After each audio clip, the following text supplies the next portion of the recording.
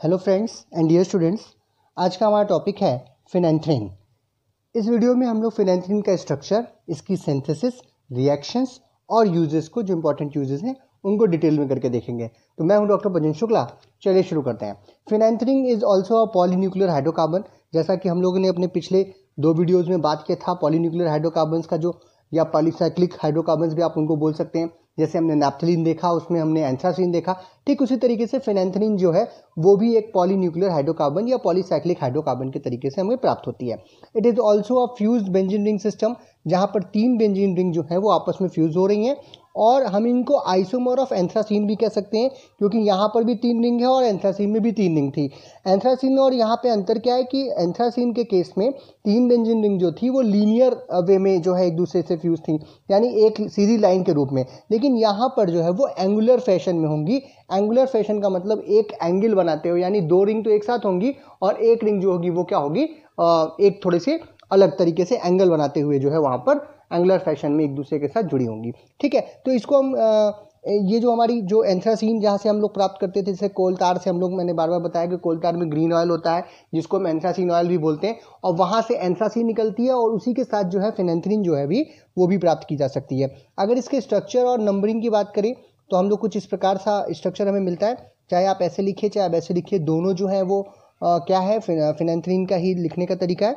आप नंबरिंग किसी भी रिंग सिस्टम से शुरू कर सकते हैं। इन दोनों से जो बाहरी वाली रिंग सिस्टम होती है, चाहे आप इधर से करिए या यहाँ से करिए तो हमने यहाँ से किया it is one two three four ठीक है? फाइव सिक्स सेवन एट जो फ्यूज रिंग होती है बीच वाली, उसको बाद में करते हैं तो नाइन एंड टेन उसी तरीके से यहाँ पे देखिए one two three four five six seven eight और ये बीच वाली आ गई तो नाइन एंड टेन तो इसी तरीके से आप चाहें तो इधर से भी कर सकते थे सेम चीज़ होती और आप यहाँ से भी करते तब भी क्या होती? सेम चीज़ होती, इधर से करती। अगर आप वन टू थ्री फोर इसको बोल देते फाइव सिक्स सेवन एट ये हो जाती नाइन एंड टेन ये हो जाता।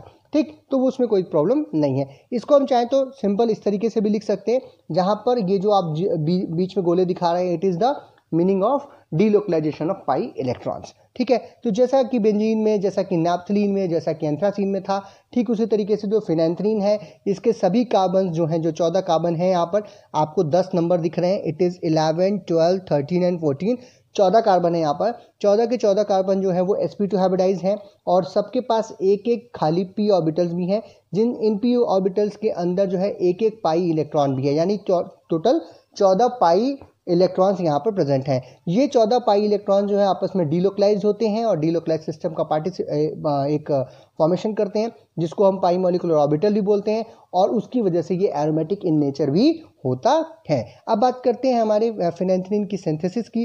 तो यहाँ मैंने पहले, सबसे पहले आइसोलेशन फॉर्म कोल कोलतार है। जैसा कि इसमें आप चाहें तो एंथ्रासिन भी इसी तरीके से भी निकाल सकते थे और फिनेंथ्रीन जो है वो भी इस प्रकार से निकाल सकते हैं। तो क्या कहना है कि जो फिनेंथ्रीन और एंथ्रासीन है, वो green oil of the coal tar fraction, coal tar का हम लोग फ्रैक्शन करते हैं तो जो ग्रीन ऑयल फ्रैक्शन निकलता है उसमें से, उसमें फिनेंथ्रीन और एंथ्रासीन दोनों पाए जाते हैं। उसको हम लोग को कूल करना है। जब हम उसे ठंडा करेंगे तो हमें सॉलिड क्रिस्टल्स मास के रूप में मिलेगा। इस मास में फिनेंथ्रीन एंथ्रासीन और इसके साथ कुछ एक दो चीज़ें और भी हो सकती हैं, इस क्रिस्टल में, सॉलिड क्रिस्टल्स या मास में। फिर इसके बाद हम लोग इसको, इस सॉलिड क्रिस्टल्स को नेप्था सॉल्वेंट के अंदर क्या करेंगे? घुलेंगे। तो जब आप इसको घोलेंगे तो जो फिनेंथ्रीन के क्रिस्टल्स हैं, वो सॉलिबल होते हैं नेप्थान में, जबकि एंथ्रासिन वाले और या दूसरे जो और चीज़ें हैं, वो इसमें सॉल्युबल नहीं होंगी।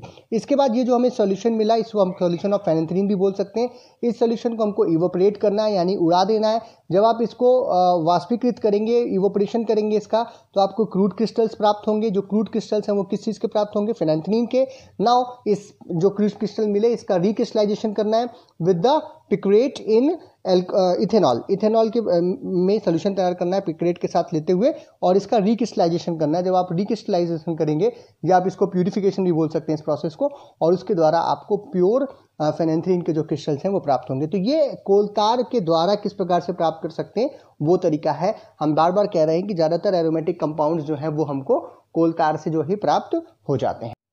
जो दूसरा तरीका है इसको प्राप्त करने का या इसकी सिंथेसिस का, उसको हम कहते हैं हावर्ड सिंथेसिस ये बिल्कुल वैसे ही है, इसकी जो मैकेनिज्म है, वो बिल्कुल वैसे ही है, जैसा कि आपने नेप्थलिन के केस में या एंथ्रासिन के केस में भी देखा था। हॉवर्ड सिंथेसिस को। तो यहाँ पर हमको सिर्फ़ क्या लेना है? सेक्सेनिक एनाड्राइड लेना है। नेप्थलिन एज ए सबसेट यहाँ पे लेना है और एल सी एल थ्री की प्रेजेंस में आप इस रिएक्शन को जब कराएँगे तो हम सिंपल इसको कैसे समझ सकते हैं कि ये जो कार्बन है सेक्सेनिक एनाड्राइड का, दोनों में से कोई भी एक कार्बन वो क्या करेगा? अटैक करेगा इस कार्बन के ऊपर। ये जो हाइड्रोजन है that hydrogen will transfer on this oxygen और ये बॉन्ड को हमको यहाँ कर देना है, यहाँ से ब्रेक कर देना है। जब आप इसको यहाँ से ब्रेक करोगे तो ये कार्बन इसके पास जुड़ जाएगा। इस ओ के पास क्या आ जाएगा? एच आ जाएगा और यहाँ पे एक एसिड के फॉर्म में हमको प्राप्त होगा। तो जैसा कि आ, हम लोग लिख सकते हैं। और जब इसके साथ जुड़ेगा तो हमें four keto four naphthyl butanoic acid मिलेगा। तो हमने नेप्थाइल का जो ये पार्ट है वो यहाँ पे पहले ही लिख रखा हुआ है। इस कार्बन के ऊपर अब यहाँ पे इस कार्बन पे इस कार्बन को हमें जोड़ना है। तो ये हो गया यहाँ पे हम इसको जोड़ दिया इसे सी डबल बॉन्ड ओ और इसके साथ क्या जो हुआ है सी एच टू है उसके साथ फिर से एक सी एच टू है और यहाँ पे क्या है सी ओ ओ एच है। ठीक? तो ये क्या बना four keto four naphthyl butanoic acid. अब ये four keto, four naphthyl butanoic acid जो है, इसको हम लोगों को रिडक्शन करना है। तब हम यहाँ पर रिडक्शन करेंगे और ये जो आपके सामने C double bond O group दिख रहा है, इसको हम लोग रिडक्शन करेंगे। तो ठीक है, यहाँ पे हम लोग ले लेते हैं, क्या लेंगे हम लोग? यहाँ पर सिंपली ले लें जिंक ले लें एच ले लें और एस के प्रेजेंस में इसको रिएक्शन कराएँ। तो यहाँ पे क्या होगा? रिडक्शन होगा। रिडक्शन सिंपल लिख सकते हैं आप लोग, याद रखने के लिए अपने। यहाँ पे सी डबल बॉन्ड ओ जो ग्रुप है, यहाँ पर क्या हो जाएगा? सी हो जाएगा। ठीक है तो कर लेते हैं। ये हो गई हमारी नेप्थलीन रिंग, ठीक है? और ये बना लिया ऐसे और इस कार्बन के ऊपर, यहाँ पर अब क्या हो गया है? It is C H two पहले यहाँ पे क्या था? सी डबल वन ओ था, अब यहाँ पे दो हाइड्रोजन जुड़ गए। ये सी एच टू एक और सी एच टू से जुड़ा हुआ है, वो एक और सी एच टू से जुड़ा हुआ है। और वहाँ पे क्या है? सी डबल बॉन्ड ओ है और ओ एच है। यहाँ पे भी एच है, ठीक? ये बिल्कुल वही चीज़ हो जाएगी। जब हम लोग नेक्स्ट स्टेप में यहाँ पर क्या डालेंगे एस टू फोर डाल करके इसको गर्म करेंगे तो यहाँ से पानी निकलेगा और रिंग का जो सिस्टम है वो आपके सामने आ जाएगा। तो ठीक है, यहाँ पे हम लोग इसको ऐसे ले लेते हैं। यहाँ पे क्या डालेंगे H two S O four डालेंगे और इसको क्या करेंगे, गर्म करेंगे, यहाँ से क्या निकलेगा एच टू ओ बाहर निकलेगा। इस ओ एच से यहाँ से एच से, ठीक? और जब ये बाहर निकलेगा तो यहाँ पर रिंग सिस्टम का फॉर्मेशन हो जाएगा। कर लीजिए फॉर्मेशन ये हो गई हमारी नेप्थलीन रिंग और ये हम लोग बिल्कुल वैसे ही लिख लें जैसे थी ये। और इसके साथ ही साथ इस कार्बन पे अब हम लोग इसको बना सकते हैं कुछ ऐसा, जैसा कि इसका स्ट्रक्चर हमें दिखना चाहिए। तो ये हो गया हमारा क्या जुड़ा है यहाँ पर? सी एच टू जुड़ा हुआ था। इस सी एच टू से जो है क्या जुड़ा हुआ है? एक और सी एच टू जुड़ा हुआ है। उससे क्या जुड़ा हुआ है? एक और सी एच टू जुड़ा हुआ है, ठीक है? और ये सी एच टू से जो ये कार्बन था, यहाँ पे क्या है? यहाँ पे हम कार्बन ही लिख लेते हैं। डबल बॉन्ड ओ है और ये कार्बन अब इस रिंग सिस्टम से जुड़ गया। तो यहाँ पे क्या हो रहा है? साइक्लाइजेशन हो रहा है सिक्स रिंग ये जो है हेक्सा साइक्लिक रिंग जो है यहाँ पे बन रही है, क्योंकि यहाँ पर ए ओ एच और यहाँ से एच जो है वो निकल गया। नाउ अब जो ये बना आपके सामने, इसमें एक बार फिर से हम लोग इसका रिडक्शन कर देंगे। ठीक है सिंपली एक बार फिर से इसका रिडक्शन कर दीजिए। जिंक और एचजी की प्रेजेंस में फिर से एस डाल दीजिए। और ये जो सीडबल बॉन्ड वो है, इसको भी ख़त्म कर दीजिए। ठीक तो ख़त्म कर देते हैं। ये बन गई हमारी नेप्थलीन रिंग, ठीक है? जैसी थी। और इसके साथ ही साथ यहाँ पर अब एक जो है पूरी तरीके से देखिए, हाइड्रेटेड रिंग बन रही है। यहाँ पे भी सी एस टू यहाँ पे भी सी एस टू यहाँ पे भी सी एस टू क्योंकि सी डबल वन ओ की जगह पे आपने रिडक्शन कर दिया तो यहाँ पे क्या हो गया? सी डबल वन ओ हट गया और यहाँ पे सी एच टू हो गया। तो कुछ इस प्रकार से रिंग आपको प्राप्त हुई। आप इसका नाम जो है चाहे लिख सकते हैं। It is position number one two and this is three and four दोनों जगह पे हाइड्रोजन जुड़ा हुआ है तो इसको हम लिख सकते हैं। One, two three and four, one, two, three and four, tetra hydrophenanthrene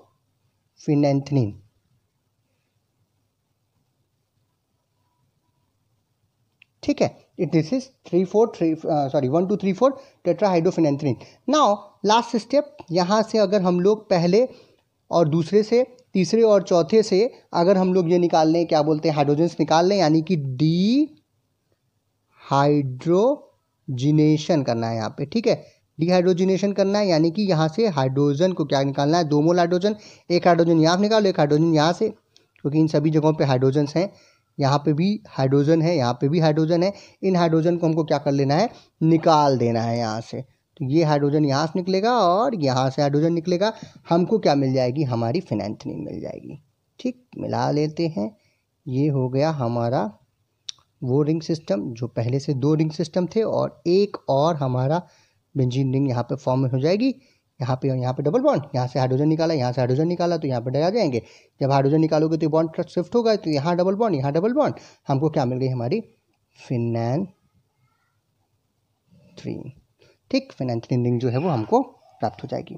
ठीक तो पी एच ई सॉरी यहाँ पे भी पी एच ई और यहाँ पे भी P H E P H E ठीक तो ये फिनेंथ्रीन रिंग जो है वो आपके साथ बन गई। तो इस प्रकार से आप हावर्ड सिंथेसिस के द्वारा सिंथेसिस जो है वो फिनेंथ्रीन की कर सकते हैं। The next synthesis is Pschorr synthesis P P यहाँ पे साइलेंट है। साइकोर सिंथेसिस यहाँ पर देखिए बहुत ही इंपॉर्टेंट रिएक्शन है। साइकोर जो सिंथेसिस होती है या जो इसकी मैकेनिज्म होती है, ये तब होती है जब डाई एजोटाइज टाइजेशन करने के बाद यहाँ पर जो ये NO2 ग्रुप आपको दिख रहा है, या ये आप इसको नाइट्रोजन ग्रुप में चेंज कर लीजिए एंड देन वहाँ पे नाइट्रोजन के निकलने से और यहाँ पे जो दूसरा ग्रुप होता है, उसके जुड़ने की वजह से साइक्लाइजेशन होता है, उसी को हम ये इस प्रकार की सिंथेसिस कहते हैं। लेकिन हम लोग इसको स्टार्ट करेंगे कहाँ से? ऑर्थो नाइट्रोबेंजल्डिहाइड से, और सोडियम फिनाइल एसिटेट आप ले सकते हो, या सोडियम फिनाइल कार्बोक्सिलिक एसिड भी आप ले सकते हैं, कोई दिक्कत नहीं है। In the presence of acetic anhydride ये रिएक्शन यहाँ पर टेक्स प्लेस होगी। क्या होगा? ध्यान से देखिएगा। ये सी डबल बॉन्ड ओ जो है, ये एच टू के साथ चला जाएगा। क्या निकलेगा यहाँ पर? एच टू ओ ठीक है? यहाँ से क्या निकलेगा? पानी निकलेगा। तो ये C double bond O bond जो है, ये सी डब सी के साथ जो दो दो डबल इस कार्बन और इस कार्बन के बीच में क्या आ जाएगा? इस कार्बन और इस कार्बन के बीच में डबल बॉन्ड आ जाएगा और ये पूरा का पूरा ये जो रिंग है, ये इसके साथ क्या हो जाएगी? जुड़ेगी साथ ही साथ जो एस एच निकल रहा है, वहाँ से एच प्लस भी ला सकते हैं तो ये एन एच बन करके निकल जाए और एच प्लस यहाँ मिल जाए तो इसको हम लोग एसिड के फॉर्म में भी लिख सकते हैं। तो लिख लीजिए इसको। दोनों चीज़ यहाँ पर कर दीजिए। ये हो गई हमारी रिंग जो कि यहाँ पे पहले से ही उपलब्ध थी और इस रिंग पे NO2 ग्रुप लगा था, इसको रह दे देते हैं। और इस कार्बन के साथ यहाँ पे सी एच हमने लिख लिया, क्योंकि ये सी एच था ही। और ये डबल बॉन्ड किसके साथ बनाया है? इस कार्बन के साथ। तो यहाँ पर क्या है? सी एच टू नहीं रहा, क्योंकि यहाँ से कार्बन में से एच टू निकल चुका है। और यहाँ पे क्या है? सी ओ ओ एच हमने कर लिया। हमने कहा कि एन ए निकल जाए और यहाँ पे ये जो बेंजिन थी, वो जुड़ी रहेगी। बेंजिन रिंग जो इसके साथ जुड़ी हुई थी, उसको क्या कर देते हैं? जोड़ देते हैं। ठीक? तो ये हमने क्या कर दिया? यहाँ पे जोड़ दिया। और ये क्या बना? इसका नाम है ऑर्थोफिनाइल ऑर्थोनाइट्रोसिनेमिक एसिड। नाउ अब इसी का, जो ये आपके सामने सिनेमिक एसिड का ये जो पार्ट दिख रहा है, इसमें जो नाइट्रो ग्रुप है, इसका हम लोगों को क्या कर देना है? रिडक्शन करना है। इसका रिडक्शन करने के लिए हम लोग यहाँ पर ले सकते हैं जिंक एच जी जैसा हम लोग ऊपर भी ले रहे थे। सिंपली जिंक ले लीजिए एच जी ले लीजिए in the presence of H C L यहाँ पर रिडक्शन हम लोग कर देंगे। और जब इसका रिडक्शन आप करोगे तो ये एन ओ टू जो है वो एन एच टू में बदल जाएगा। ठीक है तो बदल देते हैं भाई, कोई दिक्कत नहीं है। ये अब क्या हो गया यहाँ पर? एन एच टू, आप चाहे गोल बना लीजिए, चाहे बॉन्ड लिख लीजिए, कोई दिक्कत नहीं है। यहाँ पे क्या है? C H double bond C इस सी से क्या जुड़ा हुआ है? रिंग जुड़ी हुई है। बेंजिन रिंग उसको हमने जोड़ लिया यहाँ पे। जैसी थी है और यहाँ पर और क्या है? सी ओ ओ एच है, उसको अभी भूलेंगे नहीं। तो ये क्या बन गया? Ortho orthophenyl ortho amino amino group लगा हुआ है। और sorry alpha phenyl ortho amino cinnamic acid, ये डेरिवेटिव यहाँ पर तैयार हुआ। नेक्स्ट स्टेप में इसका डाई एजोटाइजेशन करेंगे। डाई एजोटाइजेशन का मतलब जो आप यहाँ पे एन ग्रुप देख रहे हो, इसमें से एच हमको निकालना है एच दोनों निकाल लेंगे और यहाँ पर एन टू ग्रुप जोड़ देंगे, यानी कि नाइट्रोजन आ जाएगा। तो ये कैसे आएगा? जब आप इसकी रिएक्शन डाई एजोटाइजेशन करने के लिए हम लोग N N N O two या फिर जो है एच एन ओ टू भी आप ले सकते हो in the presence of H two S O four ठीक है? तो इसकी प्रेजेंस में आप जब इस रिएक्शन को करते हैं तो यहाँ पर H N O three N O two जो है वो बाहर निकलता है इस रिएक्शन में और जो है यहाँ पर हम लोग एन ओ टू ग्रुप आ जाएगा। साथ में हम लिख सकते हैं H S O four minus जो है वो उसके साथ भी, वो भी है। ठीक तो इसको आप लोग क्या करेंगे इसका? डाई डाइएजोटाइजेशन करेंगे इस रिएक्शन को कहते हैं। डाइएजोटाइजेशन और जो प्रोडक्ट बनता है उसको कहते हैं डाइएजो डाइएजो सॉल्ट ठीक है तो इसको हम लोग कर लेते हैं यहाँ पे। ये हो गई हमारी बेंजीन जैसी थी वैसे लिख लेते हैं। ठीक, यहाँ पे डबल बॉन्ड थे, चाहे आप वैसे लिखिए चाहे ऐसे लिखिए। ये क्या है? एन टू हो गया। ठीक, क्योंकि डाइजिटाइजेशन हो गया। इसके साथ क्या है? H S O four minus के फॉर्म में ये भी यहाँ पर प्रेजेंट है। ये ये प्लस फॉर्म में है, ये माइनस फॉर्म में, दोनों चीज़ें यहाँ पर रहेंगी। इसके साथ ही साथ जो भी कुछ जैसे था वैसे लिख दीजिए। C double bond sorry H था ये। C H double bond C C O O H इसको भी रहने देते हैं। और यहाँ पे अब देखिए क्या होगा। कि यहाँ पे भी एक रिंग सिस्टम था। और ये जो बेंजीन रिंग थी, इसी पे जब हम लोग यहीं पे, इसी को हम कहते हैं साइकोसिंथेसिस जब यहाँ पर से आपके पास जो ये हाइड्रोजन है दैट हाइड्रोजन विल लीव ठीक है, यहाँ से इस हाइड्रोजन को हमको निकालना है नाइट्रोजन को निकालना है, जब आप इसमें एच टी फोर डाल करके और कॉपर की प्रेजेंस में रिएक्शन होती है। यानी ये रिएक्शन करने के लिए हमको सी यू जो है वो कॉपर चाहिए होता है। सी यू की प्रेजेंस में जब सी यू पाउडर को आप डाल करके रिएक्शन करोगे तो क्या निकलेगा यहाँ से? नाइट्रोजन निकलेगा। यहाँ से एच जो है इस H H S O four जो है, इस एच को ले लेगा। H two S O four निकलेगा यहाँ से, ठीक? और इसकी प्रेजेंस में जब सी यू को हम लोग डालते हैं, तब ये रिएक्शन हो रही होती है। ये कार्बन इस कार्बन के साथ हमको क्या कर देना है? जोड़ देना है सिंपली जब यहाँ पे साइक्लाइजेशन हो जाएगी, इसको हम साइक्लाइजेशन भी कह सकते हैं कि ये साइक्लाइजेशन के रूप में इस प्रकार से कुछ हो रहा है। तो यहाँ पे हो गया ये हमारी बेंजिन रिंग बिल्कुल वैसे ही हम लोग बना लेते हैं पहले। ये हो गया C H double bond C यहाँ पे सी ओ ओ एच लगा हुआ था। ये जो है, एक हमारी दूसरी रिंग सिस्टम के साथ जुड़ा था और ये क्या था? ये, ठीक? अब ये कार्बन और ये कार्बन आपस में क्या हो जाएँगे? जुड़ जाएँगे, क्योंकि यहाँ से नाइट्रोजन यहाँ से हाइड्रोजन निकला तो ये कार्बन इस कार्बन से जुड़ गया। हमने यहाँ पर इसको इसके साथ जोड़ दिया, और क्या बन गया हमको साइकिल कितने कार्बन की है? देखिए, एक, दो, तीन, चार, पाँच छः छः कार्बन की चेन चाहिए थी, और यहाँ पे डबल बॉन्ड चाहिए था, वो बन चुका है। बस खाली अब यहाँ पे क्या है? सी ओ ओ एच ग्रुप है। इसको हम लोगों को यहाँ से क्या कर देना है? हटा देना है। और इसको हटाने के लिए हमको कुछ नहीं करना है। इसमें फिर से एक बार क्या डालिए? H two S O four डालिए, और इस रिएक्शन को गर्म कीजिए। जब आप इसको गर्म करेंगे तो यहाँ से क्या निकलेगा? Carbon dioxide C O two जो है यहाँ से निकल जाएगा और यहाँ एच बचेगा। तो यहाँ से सी ओ टू निकल गया। ये एच इस कार्बन के पास से देगा। तो सी एच यहाँ सी एच यहाँ डबल बॉन्ड और ये हमको क्या मिल जाएगी? हमारी फिनेंथ्रीन ये फिनेंथ्रीन ही तो है और क्या है? ये बन गई फिनेंथ्रीन ये हो गया यहाँ पर। देखिए ये रिंग सिस्टम हो गया। यहाँ पर ये इसके साथ जुड़ी गया था और ये दोनों आपस में जुड़े थे। यहाँ डबल बॉन्ड था। यहाँ पे C S C S double bond और कुछ नहीं करना हमको यहाँ से सिर्फ़ कार्बन डाइऑक्साइड निकाल देना है और हमारी रिएक्शन जो है वो कंप्लीट हो जाएगी और हमको क्या मिल जाएगा? फिनैन थ्री ठीक है? तो ये बन गई, ये है हमारी कौन सी सिंथेसिस है, इसको हम कहते हैं साइकोर सिंथेसिस इसके द्वारा भी हम लोग फिनेंथ्रीन को जो है बना सकते हैं। तो ये थी सिंथेसिस अब देखते हैं इनकी केमिकल रिएक्शंस के बारे में बात करेंगे। सिंथेसिस समझ में आ गई होगी आपको, अब हम लोग इसके केमिकल सिंथेसिस के बारे में बात करेंगे। अगर आप इसका नाम लिखना चाहें तो वो भी लिख सकते हैं यार। नाम जो है यहाँ पर, ये तो ये तो इसका सॉल्ट है। डाइजोड सॉल्ट है और इसका जो नाम है, ये देखिए क्या है, ये नाइन और टेन तो इसको हम लोग नाइन मान लेते हैं इट इज़ नाइन ये नाइन एंड टेन इसको बोल देते हैं तो nine phenanthrene phenanthrene carboxylic acid ठीक है? नौवे पोजिशन पोजिशन पे या फिर एंथ्रीन नाइन कार्बोक्सिलिक एसिड आप बोल सकते हैं यहाँ पे नौवे नंबर पे कार्बोक्सिलिक एसिड ग्रुप जो है वो लगा हुआ है। तो अब देखते हैं इसकी रिएक्शंस लाइक एंथ्रासिन जो हमारी फिनेंथ्रीन है वो भी लेस एरोमेटिक uh, होती है देन द बेंजीन और इसमें जो है हमको एक दो तीन चार और पाँच जो है रेजोनेटिंग स्ट्रक्चर्स जो है वो पाए जाते में ये पाया जाता है। और इसमें भी जो position number nine and ten आपको दिखाई दे रही है, यानी कि नौवें नंबर की जो पोजीशन है, वो ज़्यादा पार्टिसिपेट करती है नौवें और दसवें नंबर की इन द रिएक्शन तो क्योंकि ये लेस बेसिक है than the sorry less aromatic है than the benzene ring so यहाँ पर अब सब्सटीट्यूशन रिएक्शन तो होती है, क्योंकि भाई एरोमेटिक रिंग्स में सब्सटीट्यूशन रिएक्शन होती है, कैसे होती है, उनका वीडियो मैंने पहले डाल रखा है, और उसका लिंक आपको डिस्क्रिप्शन में मिल जाएगा, वहाँ से आप देख सकते हो electrophilic substitution reaction aromatic ring के अंदर कैसे होती है, वही मैकेनिज्म यहाँ पर भी लागू होगी, लेकिन साथ ही साथ यहाँ पर इलेक्ट्रोफ्लिक एडिशन रिएक्शन भी हो सकती है, नौवें और दसवें पोजिशन पर। तो जब भी हम सब्सटीट्यूशन करेंगे तो कहाँ से करेंगे? नौवें नंबर का जो हमारा कार्बन है, वहाँ से हाइड्रोजन निकालनी है हमको और अगर एडिशन करेंगे तो दोनों जगह से हम लोगों को क्या करना है डबल बाउंड हटा करके वहाँ पे एडिशन कर देना है, नौवे और दसवें नंबर पे। तो नौवा, दसवां नंबर जो है वो लगातार आप देखिए, एक रिंग सिस्टम दो, तीन, चार और पाँच ये पाँचों रेजोनेंस में जहाँ पर आप देख रहे हो कि केवल डबल बॉन्ड्स की जो पोजीशन है, वो हमको चेंज करनी है और हमको पाँच रेजोनेटिंग स्ट्रक्चर्स मिलते हैं। तो नौवा, दसवां नंबर जो है, वो उस कार्बन पे देखिए, एक, दो, तीन और चार स्ट्रक्चर में डबल बॉन्ड दिख रहे हैं। यानी नौवें और दसवें नंबर का जो कार्बन यानी C nine and C ten जो है उसकी जो बॉन्ड लेंथ है, वो it is around one point three seven angstrom और ये छोटी होती है किसी भी और बॉन्ड लेंथ से।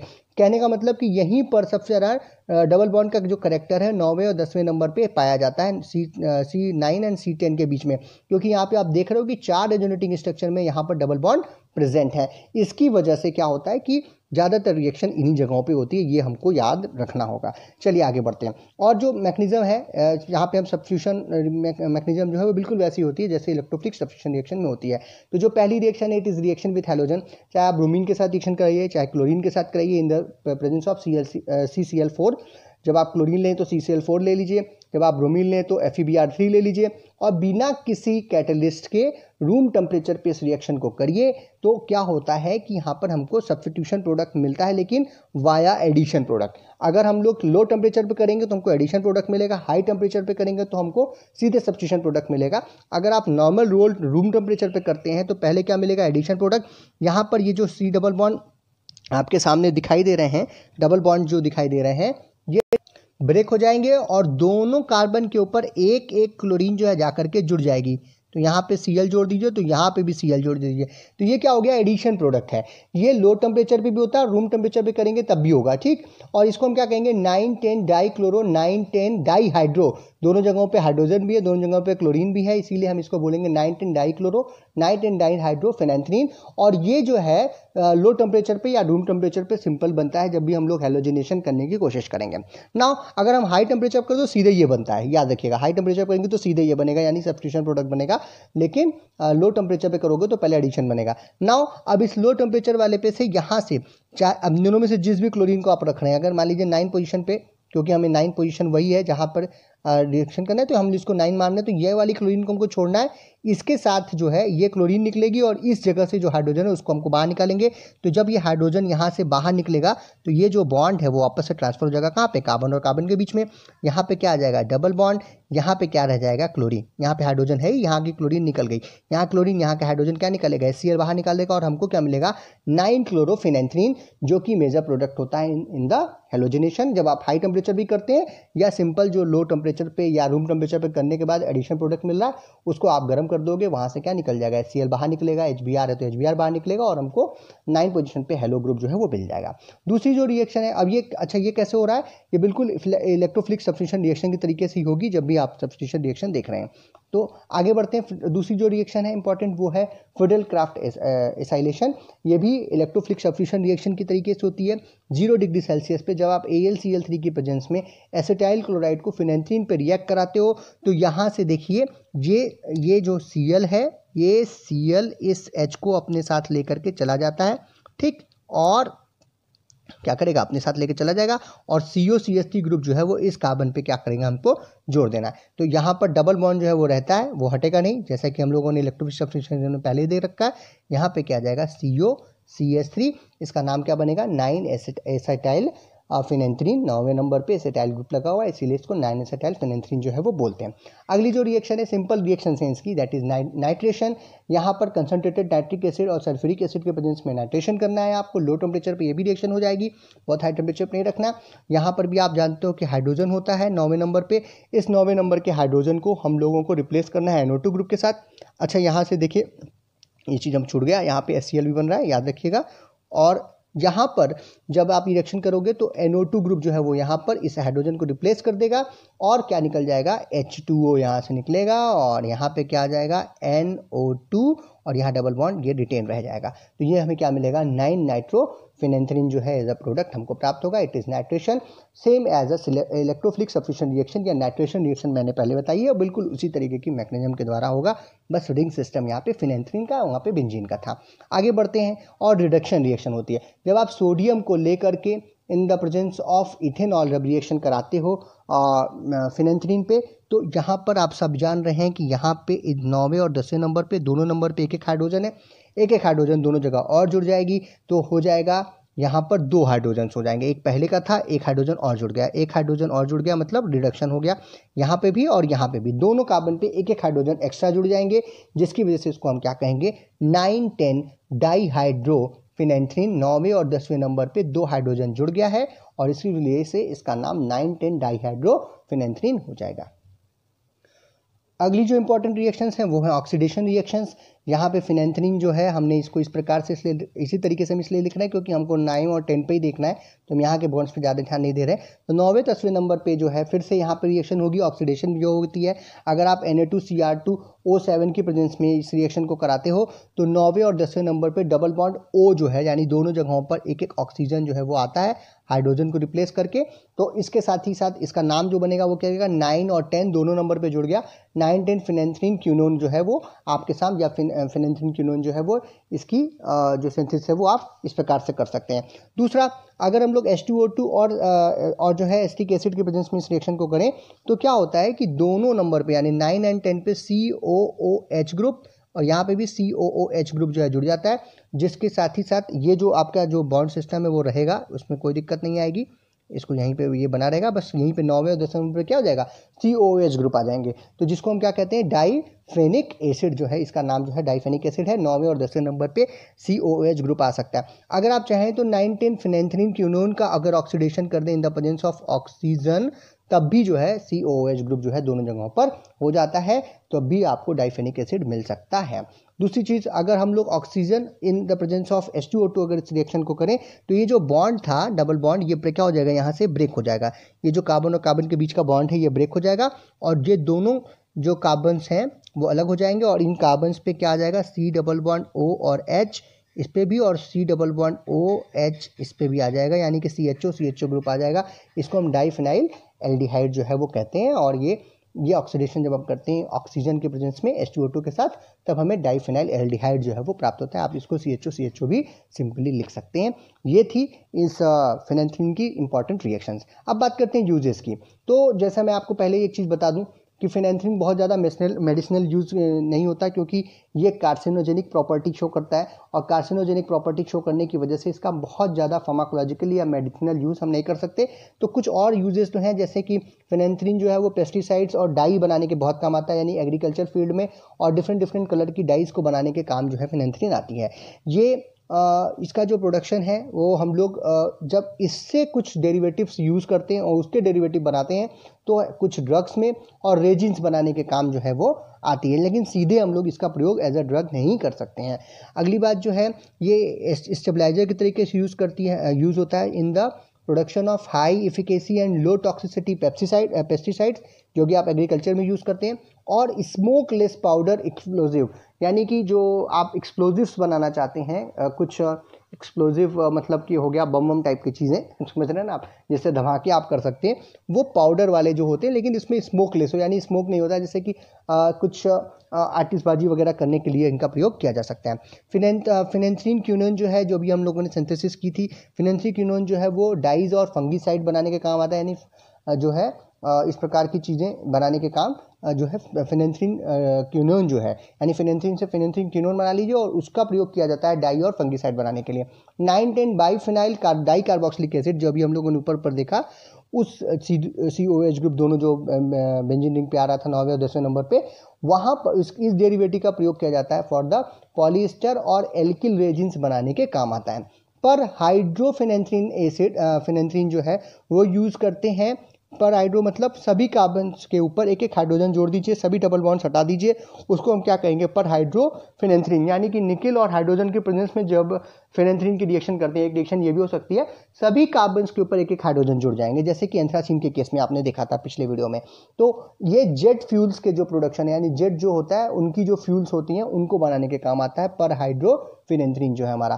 प्लांट एक चाइनीज़ प्लांट है एरिस्टोलोचिया जो कि चाइनीज़ मेडिसिन सिस्टम में यूज़ किया जाता है for the anti inflammatory activity diabetic activity और ट्रीटमेंट ऑफ़ ओडिमा उसके जो कंस्टिट्यूएंट्स हैं, उसमें फिनेंथनिन रिंग जो है वो पाई जाती है। ओडिमा क्या होता है? जहाँ पर सूजन हो जल भर जाए आपके किसी पार्ट में, जहाँ उसकी वजह से सूजन हो जाए, उसको कहते हैं ओडिमा कहते हैं। इनके ट्रीटमेंट में काम आता है। It is also use in use in the synthesis of alkaloidal drugs like morphine caffeine dimethyl morphine आपने मॉर्फिन और कैफीन के स्ट्रक्चर अगर थोड़ा सा याद कीजिए तो वहाँ पर इसी तरीके की फिनेंथिन रिंग एक्चुअली में पाई जाती है। तो उसके सिंथेसिस करने के लिए, यानी इन सब की हमको सिंथेसिस करनी हो मॉर्फिन की कैफीन की डाईमिथाइल मॉर्फिन की तो हम लोग जो है फिनेंथ्रीन का प्रयोग जो है वो कर सकते हैं। मैंने पहले ही कहा कि due to the carcinogenic properties हम इसको सीधे बहुत ज़्यादा मेडिसिनल यूज़ तो नहीं है, लेकिन इसका प्रयोग दूसरे तरीक़ों से कर सकते हैं, जो प्रयोग मैंने आपको अभी भी बताया। तो ये था आज का हमारा टॉपिक फिनेंथ्रीन अगर इससे रिलेटेड कोई भी आपके क्वेश्चन हो तो आप कमेंट बॉक्स में पूछिएगा, मैं आंसर करने की कोशिश करूँगा। अगर आपको वीडियो पसंद आया तो इसे लाइक कीजिए, शेयर कीजिए अपने फ्रेंड्स में इसको, और अगर चैनल पर नए हो तो चैनल को ज़रूर सब्सक्राइब कीजिए, क्योंकि मैं सारे वीडियोस लेके आने वाला हूँ। बहुत सारे वीडियोस हमने बना भी रखे हैं, और धीरे धीरे करके हम सभी पीसीआई अप्रूव्ड सिलेबस की जितने भी केमिस्ट्री के टॉपिक्स हैं, जितने भी सोटिक्स के टॉपिक्स हैं, सबसे पहले हम उनको लेके आएँगे। इसके अलावा जो साइड के और भी सब्जेक्ट्स हैं, उनके ऊपर भी हम लोग कोशिश करेंगे कि ज़्यादा से ज़्यादा वीडियोस आपको प्रोवाइड करा दें।